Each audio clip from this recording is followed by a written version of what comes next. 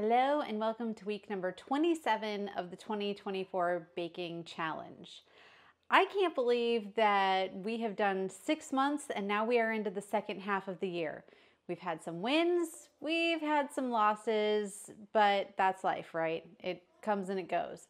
I'm pretty sure that today's pineapple upside down cake is going to be a slam dunk, so grab your ingredients and let's bake.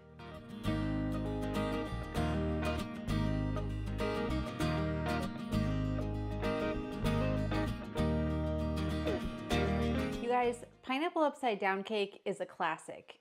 I think that the first recipe came out in 1923. That's like seriously old. So there's been years to perfect it and hopefully I'm honestly don't have any doubt that King Arthur got it right. So you need a nine inch round pan.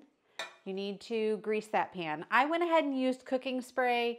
You also need to set your oven to 375.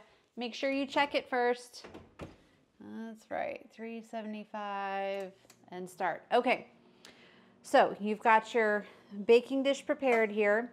You are going to start off with four tablespoons of melted butter and you are going to combine that with a half a cup of brown sugar, a fourth of a teaspoon of cinnamon, and a fourth of a teaspoon of ginger. You're going to get that all mixed up. Um, I didn't have any regular brown sugar, so mine is dark brown sugar. Hopefully it's not gonna make like a huge difference. It's probably just gonna be a little more of a sweet flavor. That's okay. You just want to make sure that it's all mixed up. And then we're going to drop it by spoonful into the cake pan. Now this is not a true nine inch cake pan. This is like eight and a half. It turns out I don't have a nine inch cake pan. So I'm just gonna go with what we have here.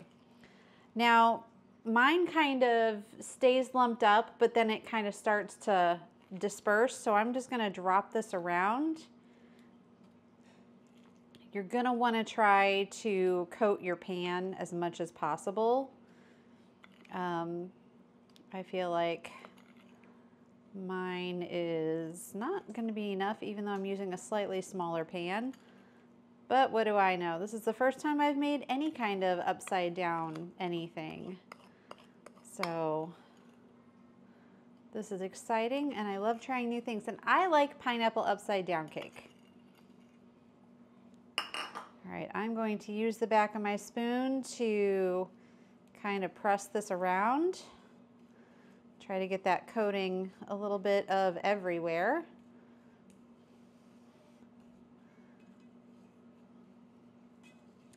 So the cool thing about upside down cakes is that you start with the topping because the topping goes in the bottom of the pan. The only change that I'm making to this recipe is that I'm not using cherries. I absolutely hate cherries. Uh, blame it on being a chronically ill kid in the 80s and uh, all the cough and cold medicine. Ugh. So you're going to take your pineapple rings drained and you're going to start placing them in here.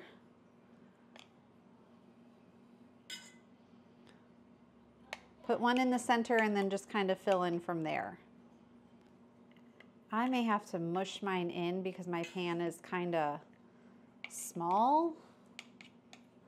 Honestly, I didn't think like that half inch was gonna be such a big deal, but here we are and it kind of is. That's okay. Now, if you're gonna use cherries, this is where you're gonna put them. You're gonna put your cherries in the center of each one of your pineapple slices. And then if you wanted to use some chopped walnuts or pecans, you could fill in the blank spaces with those. Again, I'm not gonna do that. Mine is gonna be a pretty basic um, pineapple upside down cake because I am picky. Okay, I've set the pan aside and now we're going to make the cake. The cake consists of three tablespoons of room temperature butter. Mine got a little melty because I stuck it in the atrium and it is like 100 degrees in there. Oopsie, I just didn't want to wait and I did not pre-plan this. So my bad. That's okay. Things happen. These things happen, stuff occurs, no biggie. I'm gonna put this on stir and just kind of get that butter moving. Now to the butter, we are going to add 3 fourths of a cup of sugar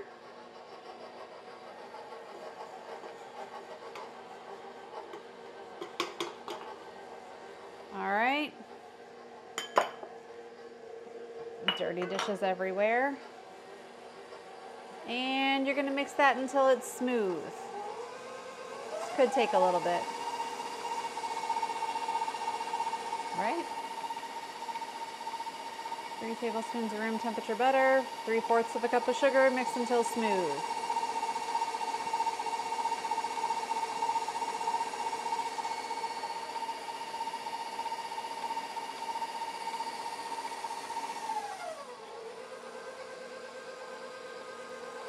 All right, that looks pretty smooth. Now we're going to beat in one egg. Now remember, your butter, your egg, and your milk should all be at room temperature.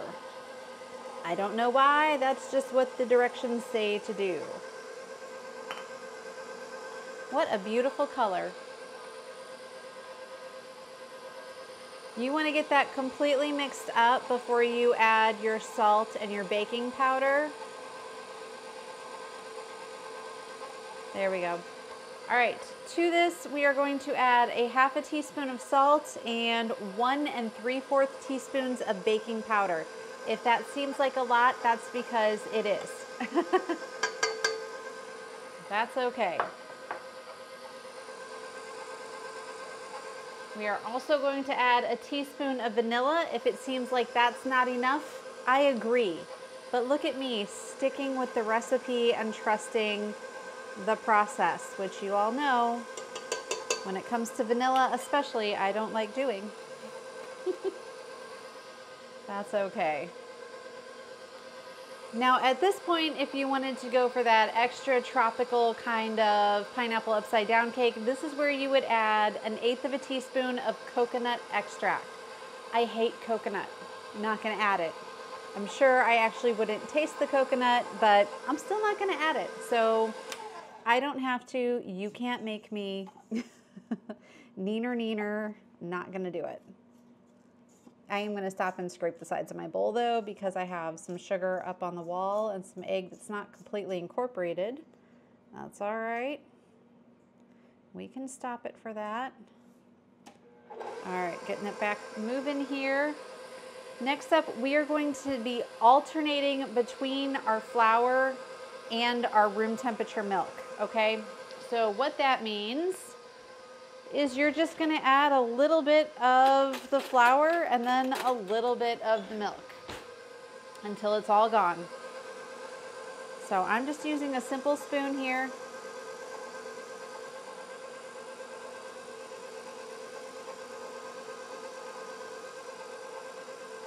Probably gonna add about three spoonfuls and I'm gonna get a different spoon for my milk.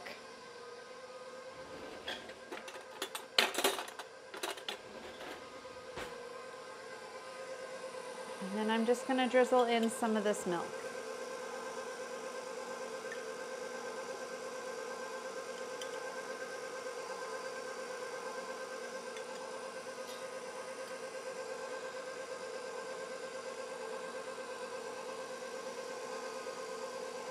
This is going to be a very thick batter, just so you know.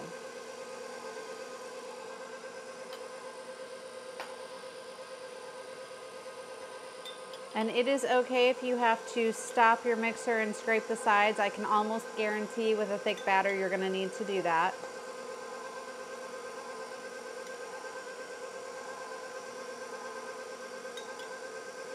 Still, I'm kind of pouring the milk like on the sides where the flour is gathering and that's helping to, to draw it down.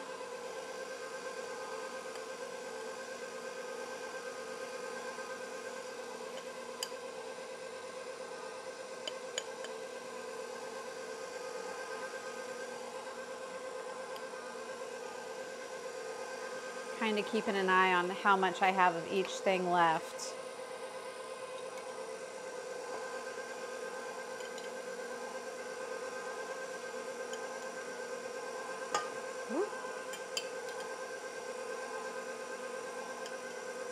It's a very pretty batter.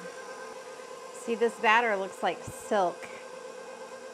It is very, very pretty. The flour will be the last thing that you add in, at least according to the recipe. Although I kind of feel like the milk should be the last thing you add, so I think I'm going to do it that way, and we'll know if that was a mistake or not. After all, you're here to learn from my mistakes. Let that mixture do its thing. Except I am going to stop and scrape the sides around because I do have some flour sticking at the top. A little bit of butter sticking, or uh, milk sticking up at the top too. I want to make sure that goes all the way down.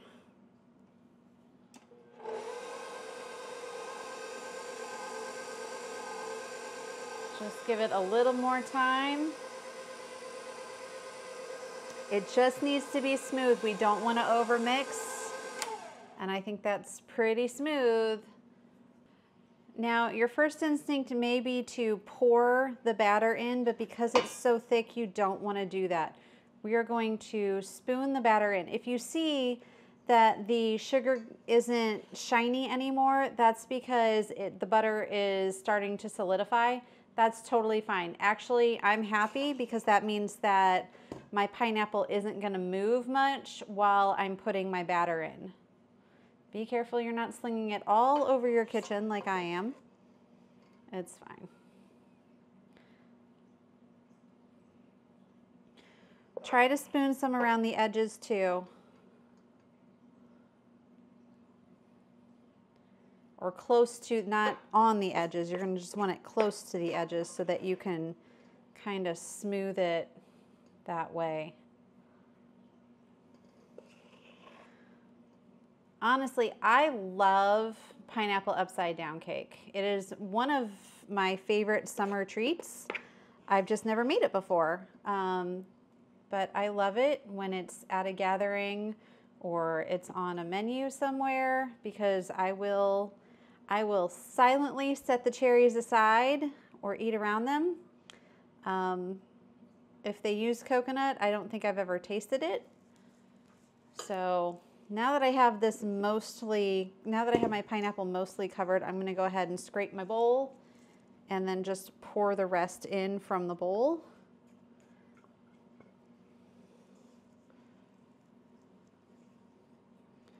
And then I'm gonna use my spatula to spread the batter around gently. Again, I'm trying really, really hard not to displace my pineapple, which honestly isn't gonna be such a huge problem for me because I have it wedged in there so well. I'm just, I'm being very light, very gentle with this, trying to make this even all the way to the edges.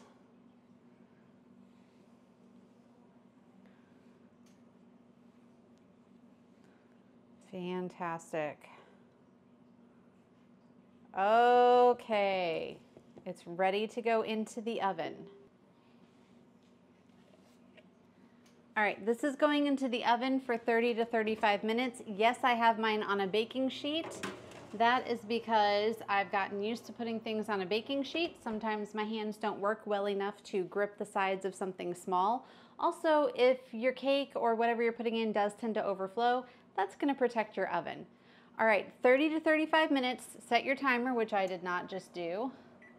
Your cake is done when you put a toothpick in the center, not all the way to the bottom, because remember we have gooey stuff on the bottom, so just about halfway through the center and it comes out clean. Then you know your cake is done.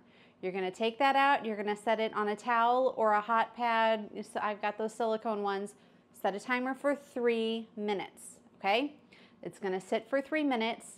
After that three minutes, then we are going to put your plate or your platter, whatever, on top and we're going to flip it over.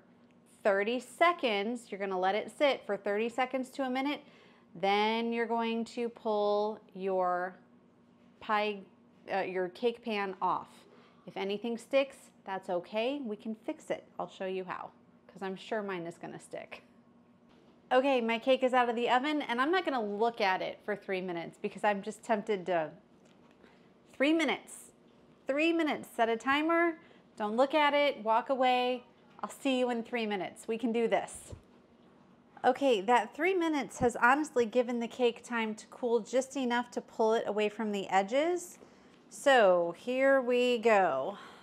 I'm going to put my platter over it and then I'm going to flip. Ah, trying to get my fingers out from under this. Trying to get it moved to the center. Now you have to wait for 30 seconds. If you wanna tap the bottom, you can. Just don't use like a knife to tap the edges. You can absolutely dent your cake pan that way. Ask me how I know. I also have a spoon and a fork in case I have some pineapple there uh, stuck to the end. I'm gonna pull it off quickly and put it back in place on top of my cake. Has it been 30 seconds yet? I don't know, but I feel like it's getting close. So I'm gonna move this over. Grab this. I'm a mess. That's all right. Okay. Don't forget this cake pan is going to be hot. Use oven mitts. Give it a little jiggle here. Oh. Look at that all of my pineapple stayed in place. Oh, it looks so pretty. Sorry, I got stuff all over that oven mitt. Um, yeah, this looks beautiful. Look at this. That is just gorgeous. Even without the cherries, it's still super pretty. You can serve this cake warm, but I'm going to wait until mine is completely cooled and then I'll try it and I'll get back to you on how it tastes. So eh, probably another half hour or so. I'll see you then. Okay, my cake is totally cooled off. It is absolutely beautiful. It looks spongy. The pineapple is nice and soft. It smells amazing. Um, I can't wait to try this. So first I'm gonna take a little bite of the cake. That is everything that I want in a cake. It's just sweet enough. Now let's try it with the pineapple. Mm-hmm. That kick of cinnamon and ginger with the um, tangy sweetness of the pineapple is so good. This may be my most favorite cake that we've made yet. So yay, two thumbs up for, for King Arthur. They, they have a winning recipe here yet again. If you enjoyed this summer treat, I hope that you hit the subscribe button below. I release these videos every single Saturday. You can also follow along over on the Facebook or Instagram page because every Wednesday morning I'm gonna put out the ingredient list. That way you have plenty of time to get your shopping list done. I hope that you tune in next week when we have a very decadent sweet, sweet treat that the kiddo picked out. I'll see you then.